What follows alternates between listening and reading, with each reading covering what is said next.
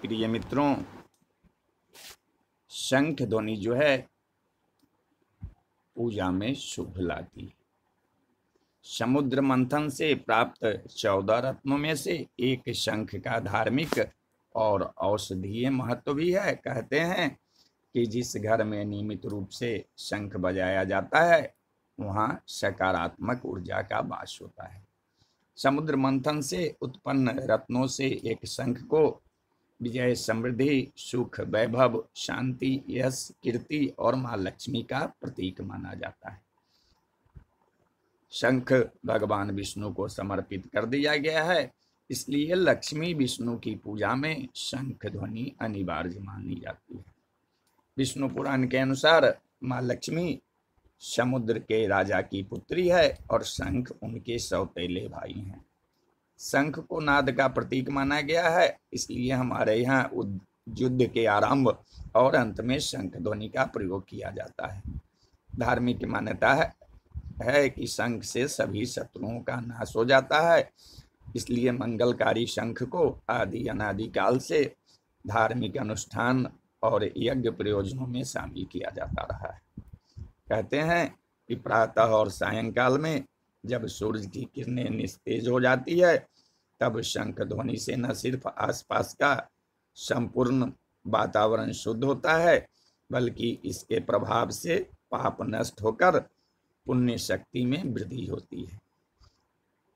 माना जाता है कि शंख की ध्वनि जहाँ तक जाती है, वहाँ तक के कीटाणुओं का नाश हो जाता है कई अर्थों में शंख कितने ही रोगों को दूर करने वाला महा औषधि भी है, जिसका उपयोग अपने देश में आयुर्वेद, आयुर्वेदिक दवाई के रूप में पुरातन काल से किया जाता है। शंख में जल भरकर देवस्थान में रखने और इसे घर में छिड़कने से वातावरण शुद्ध होता है। जिस घर में शंख ध्वनि की जाती है, वहाँ कोई व्याधिग्रस्त नहीं होता है और विपत्तियाँ दूर रहती है। शंख केवल भगवान भोलेनाथ की पूजा में वर्जित है। क्यों वर्जित है? असल में शिव जी ने लोको उद्धार के लिए शंखचूर का वध किया था। इस कारण शंख का जल शिव जी की पूजा में निषेध बताया जाता है। लेकिन शिव जी को छोड़कर सभी देवताओं पर शंख से जल अर्पित किया जा किया जा सकता है।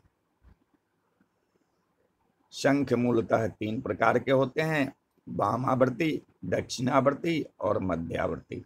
और तीनों का अलग अलग महत्व शास्त्रों में वर्णित है। श्री कृष्ण के पास पांचजन्य युधिष्ठिर के पास अनंत अनंत विजय और अर्जुन के पास देवदत्त, भीम के पास पुंडक, नकुल के पास सुगोष और सहदेव के पास मही पुष्पक शंख था। जिसकी शक्ति अलग अलग थी। विष्णु के प्रिय माह पुरुषोत्तम मास में शंख का महत्व दुगुना हो जाता है। कहा तो यह भी जाता है कि शंख ध्वनि करने वाला मृत्यु उपरांत विष्णु लोक में परम पद पाता है। तो बोलिए, जय श्री हरि विष्णु, जय श्री हरि विष्णु।